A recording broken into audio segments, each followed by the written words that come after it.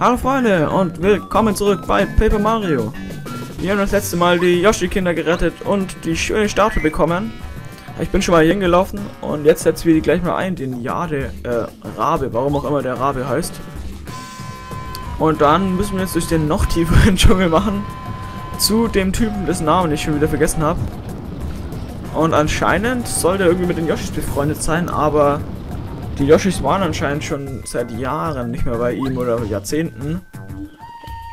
Und oh, die Ende, die Musik wird ja wirklich richtig urwaldmäßig geil. So, dann tun wir gleich mal die Glöckchen läuten und eine Münze absahnen. Okay, können wir eigentlich da oben hin? Oh, da können wir wirklich ein Ei? So hast du ein Ei gefunden. Stellt 5 KP wieder her. Ja, die kann man ja teilweise später nochmal einfach benutzen, äh, einfach mal essen, wenn wir wieder ein paar KP brauchen. Und hat der Typ gerade rumgeschrien? Ne. Doch, oder? Ich weiß es nicht genau. ja, egal. Gut, ähm, ich versuche mal Kämpfen aus dem Weg zu gehen, weil ich bin gerade ein bisschen kampffaul, muss ich zugeben. So, du kannst mich mal, haha. Aber hier ist nichts. Ähm, ich bin doch nicht kampffaul, Fragezeichen. Hier oben noch, hier oben noch was? Nö, hä?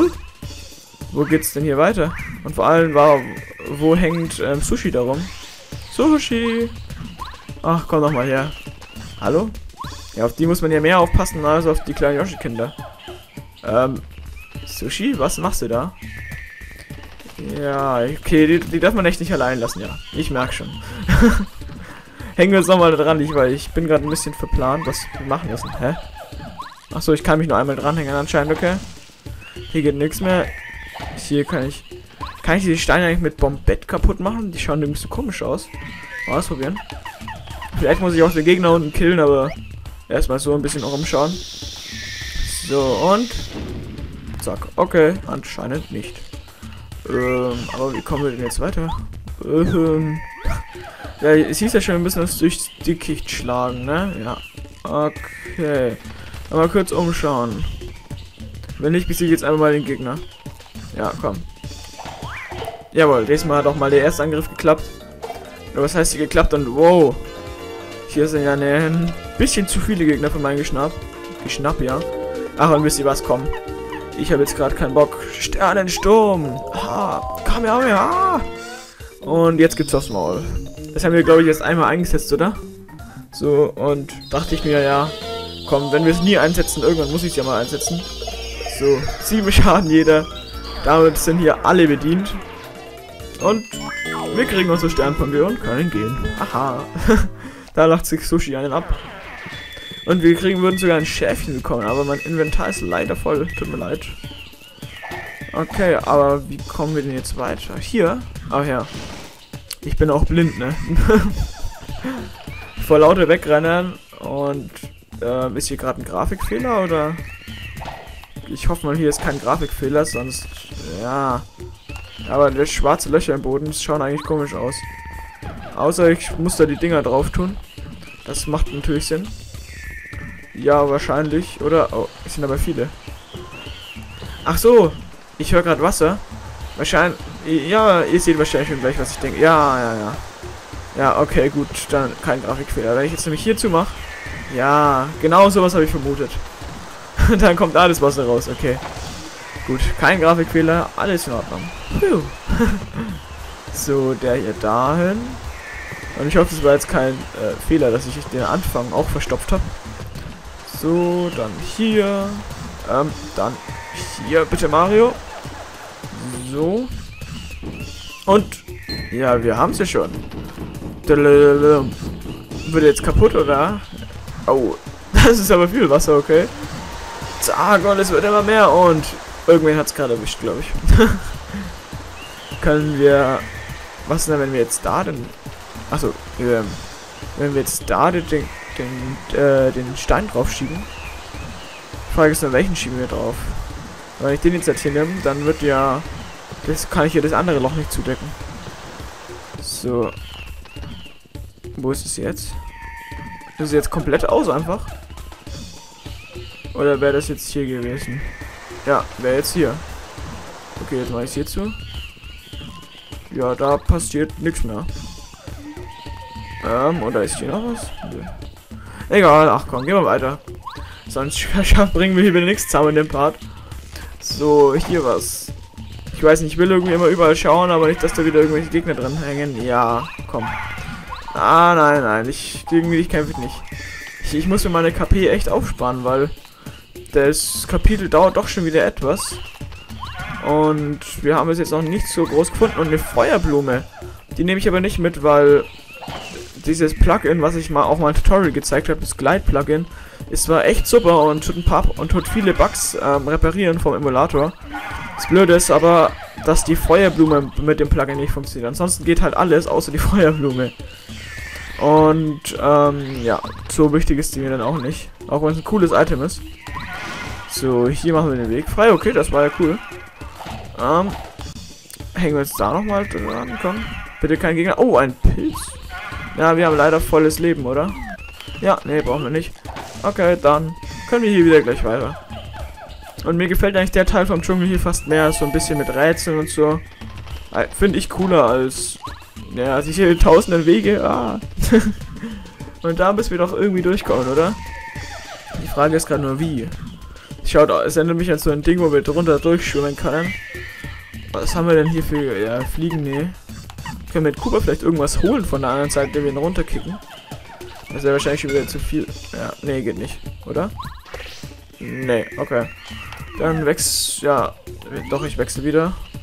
Zu Sushi, genau so hieß er. Gut. Ob das ähm, darauf hinweisen soll, wie die Story sich um sie noch ändern wird? Wird sich selbst zu Sushi und... Oh, oh, vielleicht ist es jetzt schon soweit. ähm... Oh Gott. Ach so, eine Piranha-Pflanze. Okay. ich dachte schon. Hier ist jetzt irgendwas. Ähm. Hi. Redet jetzt wirklich mit mir? Nee. Ihr macht nur eure Tanzmoves und es wird gefightet. Okay. Kamek? Weiße Kamek? Ähm. Wizard Kamek, denke ich mal. Wie Kamek? Hä?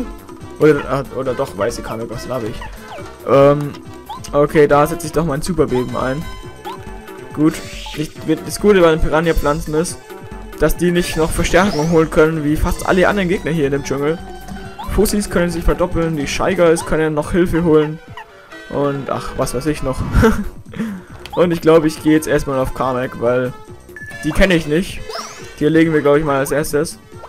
Ich sollte den eigentlich ja mal mit Gombara hier am besten scannen, aber so viel Damage, wie die ich mir hier machen, vor allem jetzt, weil ich vergiftet bin, sollte ich lieber mich hier aufs Angreifen konzentrieren. Gut, und er hat abgeblockt. Okay, was machen die? Was? Die heilen die? Okay. Die 3 K 3 KP jeder? What the fuck? Okay, wir müssen uns echt auf Kame konzentrieren. Ähm, ähm, ähm, ja, Powersprung, komm ey, die muss weg hier. Jetzt gibt's drauf. Zack, 6 Schaden, okay. Die ist erledigt, sauber. Gut, jetzt Bauchlandung auf die Faul Faulpiranha. Ach, stimmt, deswegen vergiften die mich ja auch. Hab gerade überlegt, waren die früher nicht irgendwie schwächer, aber ja. okay. Noch ein, zwei Runden, dann müssten wir den Kampf auch gewonnen haben, aber wir haben jetzt wieder über 10 Schaden bekommen. 12 Schaden. Oh, und sind immer noch vergiftet. Die Angriffe sind ein bisschen fies, weil ich weiß immer nicht genau, mit was die jetzt angreifen.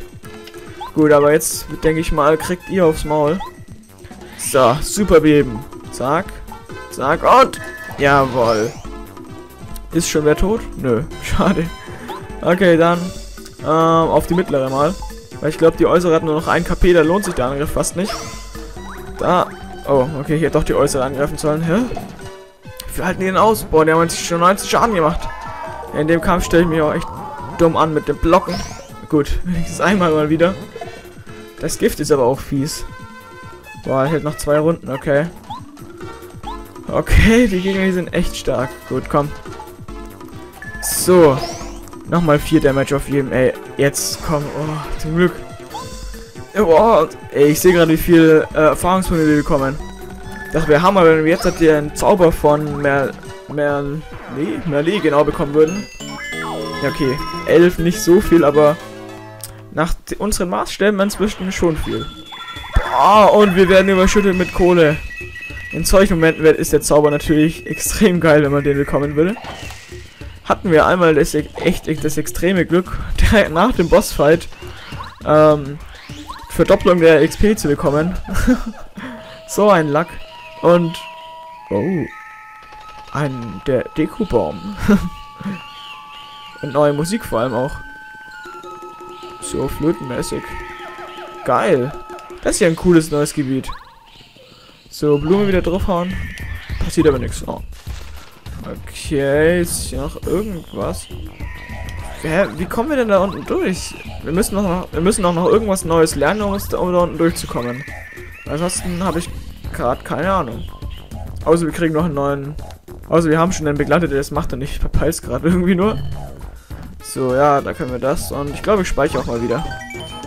Habe ich ja schon lange nicht mehr, aber falls mal wieder irgendwer der Emulator rumspackt, dann muss ich nämlich den Ingame-Speicherstand nehmen, also nicht den Safe State. Weil ich habe ja schon manchmal auf eine englische ROM umgestellt gehabt, damit man die Cutscenes anzeigen kann. Und wenn ich die ROM auf Englisch stellen muss, dann muss ich vorher ähm, ja, normalen Speicherstand ab, äh, benutzen. Weil die Safe State kann ich natürlich nicht übertragen. Und der Baum kommt schneller rum, als ich dachte. Ich dachte jetzt, wir müssen uns da durchkämpfen. Einerseits fand ich den gerade echt geil, habe aber Schiss gehabt, dass wir uns hochkämpfen müssen, aber... Nee, alles cool.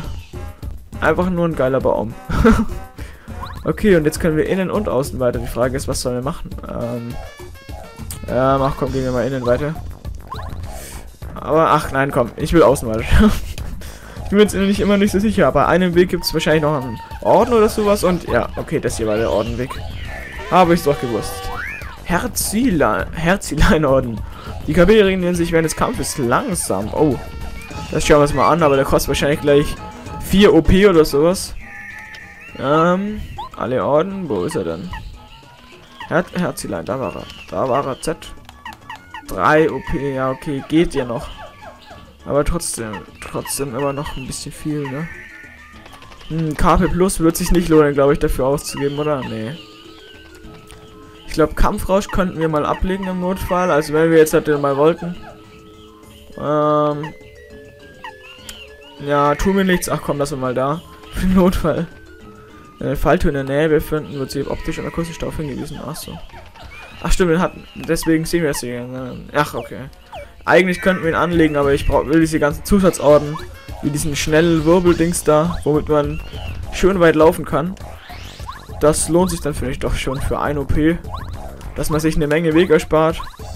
Kämpferisch zwar eigentlich sinnlos und rollenspielmäßig, aber nee, komm, so faul sind wir. und hier ist schon wieder eine Blume, aber die machen doch alle nichts, oder?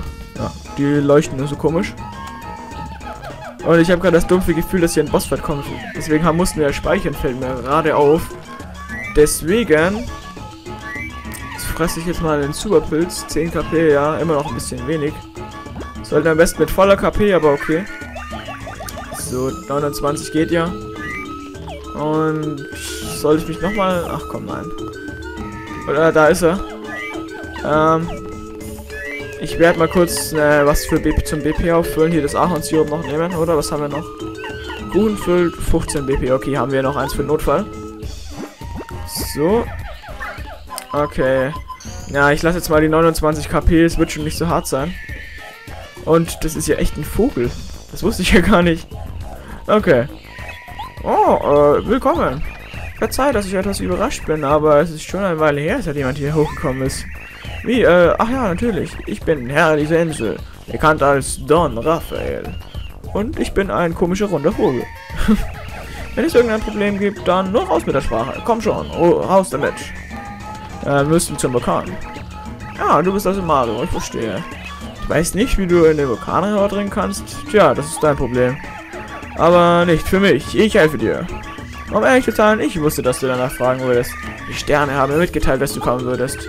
Ich werde dir etwas Außergewöhnliches geben, das dir sehr hilfreich sein wird. Aber dazu später. Jetzt sollten wir uns besser um das Vulkanproblem kümmern. Ähm. Was ist jetzt los? What the fuck? Äh, der hat Kinder? Okay. Kann es, ach, kann es sein, dass die in dem Yoshi-Ding da rumgestanden sind? Oben auf dem Baum? In dem Yoshi-Dorf? Ausgezeichnet, meine Abroxas. Es gibt Arbeit. Ich werde euch nur einmal instruieren, also erwarte ich eure vollste Aufmerksamkeit. Hm, okay, ähm, warum war der gerade so aggro? Und was ist jetzt? Achso, die reden oder wie jetzt? Ja. Ach, ihr instruiert sie jetzt. Und es muss so schnell wie möglich erledigt werden. Verstanden? Das will ich nämlich hoffen. Los geht's, Abroxas. Folgt mir. Ähm. Die fliegen anscheinend nur mit ihren Füßen. okay, ähm. Dürfen wir auch mit, oder? Was? Was ist denn jetzt das? Ich höre sie flattern, aber... Ach so. Okay, wir können hinterher springen. Gut, ich dachte jetzt schon, müssen wir den Baum nochmal runter. Und wir landen natürlich auf den Bäumen. Okay, was ist denn jetzt das? Und habe ich, glaube ich, habe meine Items sonst eingesetzt. Haurock! Ähm, und wir können den Weg so also entlang. Das erklärt einiges. Und weiter geht's. Ja, ich möchte aber gerne da links noch lang. Da ist ja auch noch ein Weg, wo wir hin müssen. Okay, gut, dann ignorieren wir das mal. Und gehen da lang. Ähm, wo führst du uns jetzt gerade hin? Ach, sind wir jetzt wieder auf dem Weg zum, zum Vulkan, oder wie? Und seine kleinen Kinder sind alle da. Hey, was gibt's denn jetzt? Verstanden. Gut, sind alle bereit? Ähm, und nun noch Roxas, an die Arbeit. Was zur Hölle macht ihr da? Du jetzt den Baum fällen, oder wie? ähm, kleiner, ich glaube, der muss noch üben. Ja, das wird nicht lange dauern. Ähm, was macht ihr da? Hm? Was zum Henker? Ähm, ich habe auch keine Ahnung, Colorado. Ah, ah, ah. Ähm, okay, sie haben mal eine Station gebaut. Ein kleines Lager. Das ist ja cool. Alles klar, du kannst jetzt den Vulkan erreichen. Ähm, was auch immer die gemacht haben. Oh, herausragend, wirklich. Es scheint, als könnten wir nur den Vulkan betreten. Was Glück nicht, was ein Glück nicht, Mario. Ich werde keine Sekunde länger warten. Die Schätze der Vergangenheit ruf nach mir. Vorwärts! Und Colorado rennt voraus. Und wir müssen ihn wahrscheinlich wieder retten. okay, da ist auch schon wieder unser Aufzug. Ja, dieser Cooper, was für ein Draufgänger. Stürzt sich einfach so in den Vulkan. Ja, er ist kühn. Das lass mal ihn machen. Kühn und völlig durchgeknallt. Aber genug jetzt. Ich will dir nur den wichtigsten Gegenstand geben, von dem ich sprach. Hier, nimm ihn. Wir haben den Ultrastein erhalten. Hebt einen deiner Freunde den Ultrarang. Okay. Oha. Das ist ein Ultrastein. Stein. Ich habe ihn vor langer Zeit in den Tiefen dieses Dschungels gefunden. Jetzt, wenn du diesen Stein hast, findest du eine, einen Superblock. Dort kannst du einen deiner Freunde vom Superrang in den Ultrarang erheben. Ah. Diese Erstarkung deiner Freunde ist der Schlüssel zum Erfolg. Vertraue mir. Dies hat mir ein Stern im Traum verraten. Setze ihn weise ein. Ähm, ich muss nur gehen. Over und aus. Okay, geil. Das heißt, beim nächsten Superblock können wir einen noch mehr aufpowern. Ich überlege nur gerade, wie kommen wir denn da oben entlang? Oben links war ja auch noch mal so ein, äh, so ein Baumstamm, wo wir, wo es so ausgeschaut hat, als wäre dahinter was. Vielleicht hat es aber, auch, aber auch nur so ausgeschaut, ich weiß ja nicht. Und ja, jetzt haben wir uns die zwei Items raus eingesetzt, okay. Ne, habe ich halt ein bisschen Geld ausgegeben. Ja, und ist ja wurscht. Denn hier ist ja gleich wieder Tot Town. Okay, ähm, ich würde sagen, das war's für diesen Part, oder? Ja, okay, heilen wir uns und kaufen nochmal schnell ein. Ja, heu die letzte Part war ja schon wieder so XXL-mäßig, weil ewig nichts mehr kam von Paper Mario. Dann, ja, passt das jetzt. So, schön schlafen. Und ja, ich bin froh, jetzt geht es hier mal ein bisschen mehr voran mit der Story, weil, ja, die ganzen letzten Male immer nur im Dschungel rumgeirrt, ohne was zu finden. ich habe schon gedacht, ich habe aber eigentlich vermutet, dass dieser Broxer-Typ da, dieser Don Raphael, genauso heißt er, dass der irgendwie böse geworden ist, weil die schon seit Jahren nicht mehr gesehen haben und dass das unser Bossgegner wird. Aber anscheinend nicht. Das ist auch gut so. Was macht eigentlich die Schneepuppe? Ne, ich kaufe sie nicht. Ja, bitte komm bald wieder. Ja, ja. Okay. Gut, haben wir wieder unsere Items. Und dann machen wir uns nächstes Mal auf in den Vulkan. Oh ja, das wird ja eine Abwechslung. Hier jetzt halt aus dem Dschungel raus. da waren wir jetzt ja ziemlich lange drin. Einige Parts. Und dann geht's nächstes Mal für uns. Ja, da rein. Und hey, da ist noch so ein Abroxer-Typ. Was sagst du denn? Okay, ist nicht sehr gesprächig. Gut, dann werden wir uns nächstes Mal da mal an diese Seilwinde ranhängen. Und schauen weiter, was denn sonst noch und so alles passiert. Okay, ich hoffe, es hat euch gefallen und bis zum nächsten Mal.